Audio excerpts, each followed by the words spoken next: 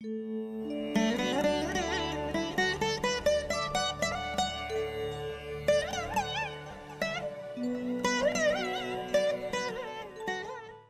அனைவருக்கும் இனிய நல்வாழ்த்துக்கள். எல்லோரும் நன்றாக இருப்பீர்கள்.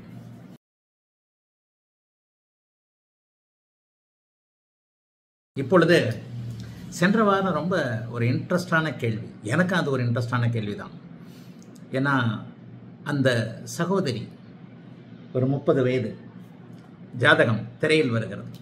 போன வாரம் கேட்ட கேள்வியுடைய ஜாதகம் திரையில் வருகிறது.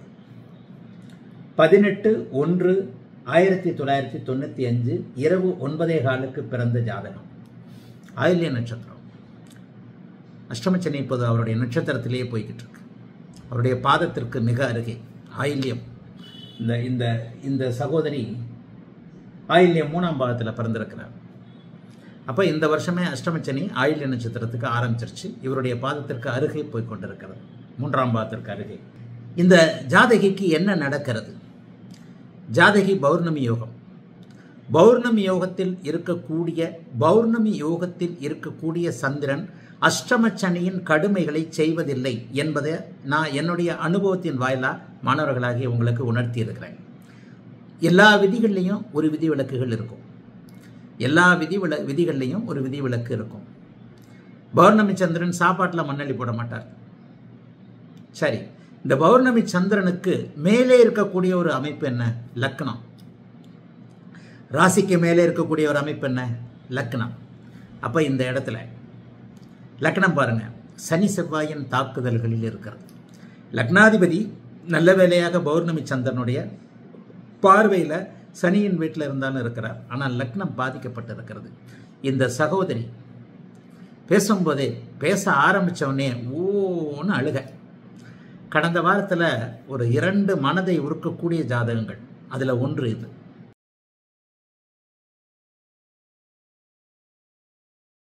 இந்த பணம் மனம் உடல் அத்தனையும் இழந்து விட்டார் என்பதை நெற்றி போட்டியில் அடித்தார் போல நாலு பேர் தான் சொன்னீங்க. ரத்தின சுருக்கமாக. Chinnanandakumar excellent Uma Saravanan excellent Raghuraman excellent நாலே வரி சுதா வேலுச்சாமி எக்ஸலண்ட் இந்த நாலு பேர் தான் நெத்தி பொட்டில் அடித்தார் போல பெருமைய முடியல கமெண்ட் கொடுத்துருக்கிறீங்க. போய் பாருங்கள் இவர்கள் இப்போது நான் சொன்ன அந்த சுருக்க அமைப்புகளை சற்று விரிவாக சொன்னவர்கள். இவர்களுடைய விளக்கத்தின் அடிப்படை இதுதான். பணம் மனம் உடம்பு எல்லாம் போச்சு. இதில். சரி கொஞ்சம் ஒரு நிலையில் சரியான பதிலை சொன்னவர்கள். Krishna Bharathi Mangainathan Balagopi V. N. Kamaraj R. Muthulakshmi Abhishek Srikanth Sai Venkatesh Dineshkumar இவங்க தான் வந்து கிட்டத்தட்ட ப்ரொடிக்ஷனுக்கு தொண்ணூறு சதவீதம் கிட்ட வந்தவங்க. ஒரு ஐம்பது சதவிகிதம் போட்டு குழப்பி கிளப்பி கிளப்பி இப்படிலாம் நடந்திருக்கும் ஐயா அப்படின்னு ஒரு ஐம்பது சதவீதம் வந்தவங்க. Haripriya Arulmurugan. Haripriya Haripriya Arulmurugan S. Ilangovan Lokeshkumar Silambarasan Sundareshkumar Aravindkumar Sundara Vadivelu Srinivasan Perumal Sami Ananthakrishnan RP Sai Venkatesh Padmanabhan T Bhanu Jayachandran James. இவங்க ஓரளவுக்கு கொஞ்சம் கெஸ் பண்ணவங்க இவ்வளோதான் சரி பொது வீடியோவில் மூணு பேர் எக்ஸலண்ட்டாக சொன்னவங்க. இதில் இந்த மூணு பேரில் ஒருத்தரை வந்து நாங்கள் பின் பண்ணியிருக்கிறோம் பொது வீடியோவில் கவிப்பிரியா அம்மா மிக அருமையாக சொன்னீர்கள். அதுபோலவே ரூபேஷ் என்வி ராகவன் தேவன் இந்த மூணு பேரும் விளக்கத்தோடு பொது வீடியோவில் போய் பாருங்கள் அந்த பொது வீடியோ கீழே இந்த மூணு பேரும் இதை அருமையாக விளக்கி இருக்கிறார்கள். ஆக கவிப்பிரியா ரூபேஷ் என்வி ராகவன் தேவன் மூணு பேரும் பொது வீடியோவில் மிக துல்லியமாக சொன்னவர்கள். துல்லியத்திற்கு அருகே வந்தவர்கள். User user underscore GE seven X U four user ஒருத்தர். அவர் பேர் என்னன்னு தெரில ERM Subash study bytes Balakrishnan M Madhusudhanan mister EVPS இவர்கள்லாம் ஒரு விளக்கத்திற்கு அருகே வந்தவர்கள்.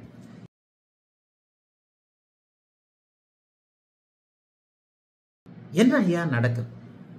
என்ன அமைப்புகள்? எந்த இடத்துல என்ன நடக்குது? இந்த இடத்துல நான் கூட உன்னை கற்றுக்கிட்டு இருக்கிறேன். இப்போது சமீப காலமாக. பொதுவாகவே ஜோதிடம் அவ்வப்போது அப்படியே அப்டேட் பண்ணிக்கிட்டு இருக்கக்கூடிய ஒரு அமைப்பு. பௌர்ணமி சந்திரன் பெரும்பாலான அமைப்புகளில் பாதிப்புகளை தருவதில்லை அப்படின்னு சொல்கிறேன் பௌர்ணமி சந்திரன் பாதிப்புகளை தருவதில்லை. முழு பாதிப்புகளை தர தரக்கூடாது தர முடியாது. அஷ்டம சனியில் எந்த விதமான பாதிப்புகளை அடைய அடைய அடையக்கூடாது அப்படின்னா லக்னமும் சுபத்துவமாக இருக்க வேண்டும் என்பது இப்போது எனக்கு பொறிப்பட தட்டி இருக்கிறது ஏன்னா கிட்டத்தட்ட இந்த அஷ்டம சனியில் நூற்றுக்கணக்கான பூச நட்சத்திரம் நூற்றுக்கணக்கான ஆயில்ய நட்சத்திர அமைப்புகள் என்னிடம் ஜாதகம் பார்க்க வருது. உண்மையில் வந்து ஒரு ஜோதிடர்கிட்ட அஷ்டமச்சனி ஜென்மச்சனி நடக்கிறவங்க தான் ஜாதகத்தை அடிக்கடி பார்க்க போவாங்க. அதுதான் உண்மை. கடகராசியும் கும்பராசியும் தான் இப்போ ஜோசியரங்களை போட்டு மொச்சுக்கிட்டு இருக்கிறது. ஆக இந்த சகோதரிக்கு என்ன நடக்கிறது? அஷ்டமச்சனிலையும் ஜென்மச்சனிலையும் காரகங்கள் தான் நிலைச்சு நடக்கும் அப்படின்னு சொல்லுவேன். சுக்கரதசை நடக்குது. சுக்கரதசை சுக்கரன் குருவோடு சேர்ந்திருக்கிறார். அந்த குருவோடு சேர்ந்திருந்தால் விட்டாரா? சனியின் பார்வையில் குருவும் சுக்கரனும் இருக்கிறார்கள்.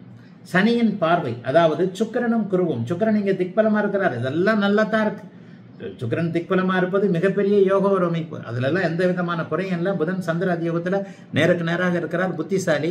இதை ஒவ்வொன்றா சொல்லப்போனால் கடுமையான ஆண்கள் இப்படியும் இருப்பார்களா என்கின்ற அளவிற்கு பெண்கள் இப்படியும் ஏமாறுவார்களா?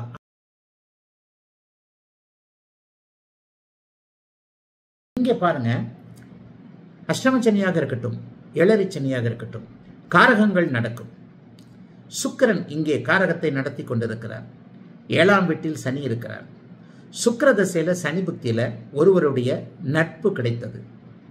இந்த பெண் கிட்டத்தட்ட ஒரு ஏழு வருடங்களாக ஏழு வருடங்களாக ஏழு ஏழு வருஷம்னு சொன்னாங்க. ஏழு வருடங்களாக வேலைக்கு போகிறார். கிட்டத்தட்ட ஒரு லட்சத்திற்கும் குறைவாக சம்பளம். ஒரு லட்சத்துக்கு குறைவாக. இப்பவும் வேலையில் இருக்கிறார். அதுதான் பௌர்ணமி சந்திரனுடைய அமைப்பு. மன அழுத்தத்தை கொடுத்திருக்கிறது வாழ்க்கை அமைப்புகளை கெடுக்கவில்லை. பௌர்ணமி சந்திரன் நீங்க என்ன பண்ணுச்சு? ஐயா பௌர்ணமி சந்திரன் நீ வந்து ஜோதிடம் வந்து மகா காம்பினேஷன்ஸ் கடுமையான காம்பினேஷன்ஸ் கடுமையான காம்பினேஷன்ஸ் அப்போ பௌர்ணமி சந்திரன் வேலையை கெடுக்கலை. வம்பு வழக்கு அசிங்கம் கேவலம் என்று அப்படியே எல்லாவற்றையும் எல்லாத்தையும் இழந்துட்டோம் என்ற துடிப்பு. அப்படியே ஒரு சிறிய நம்பிக்கை. இழந்தது கிடைச்சிடாதா ஒருத்தர்கிட்ட கொடுத்துட்டேங்க. அந்த சகோதரி கேட்டு அழுத விஷயம் கொடுத்துட்டேன். இனி வேற யாரையும் மனசால் நினைக்க முடியாது.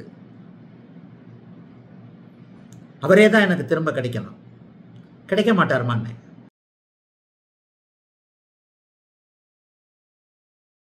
இப்போது இந்த வார கேள்வி. ஐயா இந்த வாரத்தில் என்ன கேள்வி? இதுலேயே நான் குழுவெல்லாம் கொடுக்க மாட்டேன். இதுலயும் குழுலாம் உங்களை உங்களுக்கு கொடுக்க மாட்டேன். சரி. இப்போது இந்த ஜாதகரும் ஒரு பெண். எட்டு ஒம்பது ஆயிரத்தி தொள்ளாயிரத்தி எண்பத்தி ஒன்று எட்டு ஒம்பது ஆயிரத்தி தொள்ளாயிரத்தி எண்பத்தி ஒன்று காலையில் எட்டே கால் சேலம் அல்லது ஈரோடுக்கு பக்கத்தில் பிறந்திருக்கிறான்னு வச்சுக்கோங்க. ஜாதகம் வந்துருச்சு. கன்னி லக்னம். லக்னத்தில் புதன் குரு சனி இரண்டில் சுக்கிரன் சந்திரன் நான்கில் அஞ்சில் கேது பதினொன்றில் செவ்வாய் ராகு பன்னெண்டில் சூரியன். இப்போது இந்த பெண்ணுக்கு ரெண்டாயிரத்தி இருபதுல செவ்வாதசை நடக்குது. இப்போ செவ்வாதசை நடந்துகிட்டு இருக்கு. ரொம்ப சிம்பிளான கேள்வி. டக்குன்னு சொல்லணும். செவ்வாதசையில் என்ன நடந்துகிட்டு இருக்கு? அவ்வளவு பேரும் சரியாக சொல்லுவீங்கன்னு எனக்கு தெரியும். செவ்வாதசையில் என்ன நடந்துகிட்டு இருக்கு?